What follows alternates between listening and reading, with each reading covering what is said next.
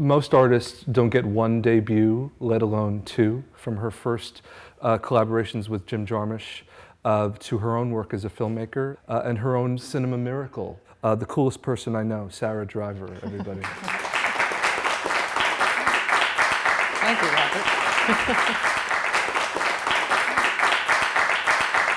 Robert. When you were growing up in New Jersey, did you spend much time in New York? My dad commuted to the city, so I lived under the shadow of the city, and I always knew that I was going to live in New York. And, um, and my mother had this theory that I would learn French if she took me to the New Wave films. So she used to take me to the Carnegie Cinema on 57th Street and 7th Avenue, which is no longer there.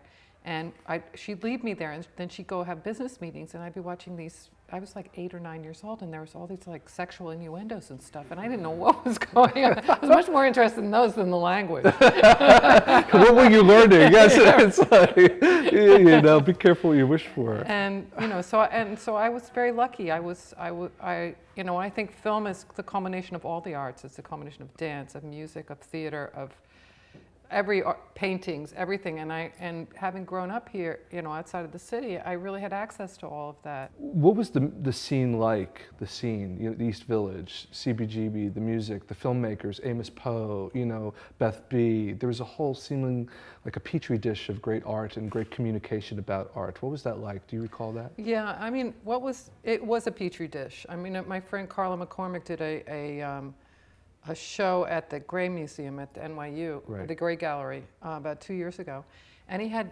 all of, all the different artists who had been lurking around then, from like 1975 to 1985, and it was amazing how many different art forms were, ger- were germinating each other and helping each other, where musicians were in movies and, you know, and, and, and filmmakers were picking up guitars and there were painters who were also making films and everybody was helping each other with everybody's project. Yeah. And, um, and it was also a period, you know, it was punk, so it was sort of like anybody could pick up a guitar and play it, even if it just sounded like noise. It was, you really didn't, you didn't have any limitations. You didn't really think in terms of, you know, having to be the very best at something. It was more about energy and just trying to experiment. And if you made a mistake, so fuck it, you know?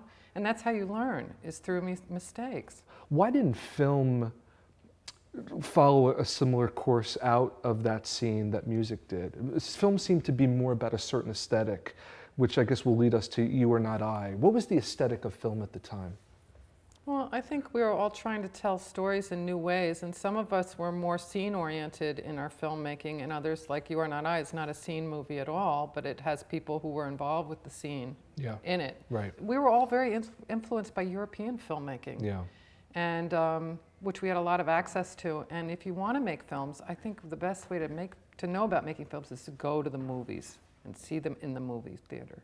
So really, that's how we learned how to make movies. Say that again, though, the movie theater. The movie theater, not on DVD. Let's talk about You and I. When did you first read the, the source material? And, and when did that click that this is something I want to make as a piece of cinema? Well, I, I, I, I, I- I went through a period, you couldn't get Paul Bowles' books. Paul Bowles was one of the beats. You know, he was friends with Burroughs, and I just thought he was amazing. And you couldn't really get his books here.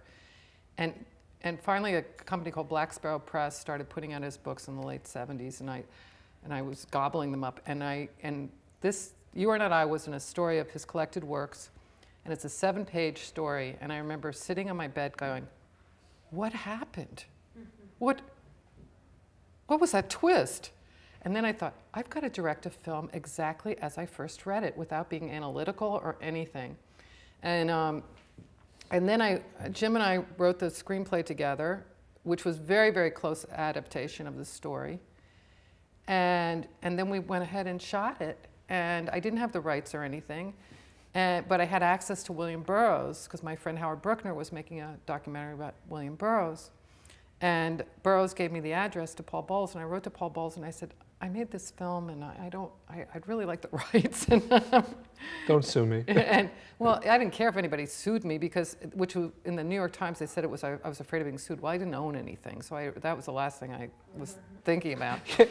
you can't get blood from a stone. No, you can't. You know, I was picking up, you know, furniture on the street on Tuesday nights, which was garbage night then. Where you could s- really good furniture. The home the shopping street. network Yeah. of the early 80s. Yeah. Yes. I used to see Louise Nevelson, the, the, the sculptor, out on the street picking up furniture too. Oh, amazing. And um, um, and Paul Bowles wrote me and he said, "You have to talk to my agent at William Morris. I can't give you the rights, but it sounds intriguing."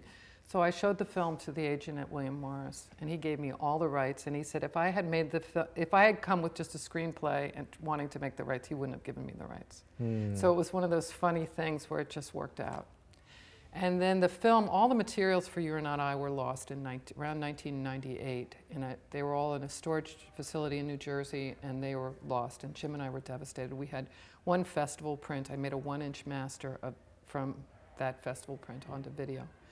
And I discovered about three years ago that the signal had disappeared on that, that that no longer existed. And then I got a phone call in the beginning of the summer of 2010 from this archivist who was archiving all Paul Bowles' letters and materials. And he said, We found a pristine print of your film in Paul, among Paul Bowles' collection. So I, it was just a, an amazing event. Some filmmakers don't want to look at their own work, let alone a film that they thought was kind of left for the, the, the ether of the world.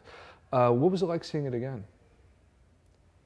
I noticed the one foot moving among the dead people, which I never noticed before. It's like a filmmaker.